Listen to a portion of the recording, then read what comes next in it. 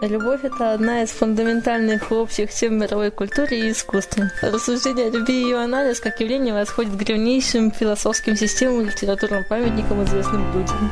Из любви зарождался весь мир.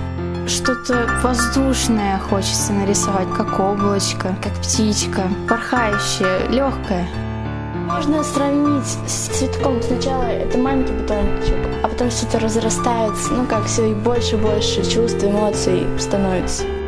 Это теплое, вкусное. Любовь – это деньги, для кого-то что-то большее.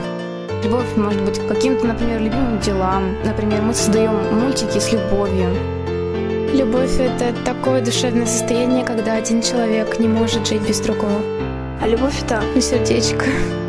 Любовь — это чувство, которое возникает между двумя людьми и как бы со временем становится все крепче и крепче. Это красный, розовый, какие-то все нежные, яркие, теплые оттенки. Для меня, если любовь, то это яркий свет, возможно, желтый. Как солнце. Любовь там, нечто неземное, которое окрыляет.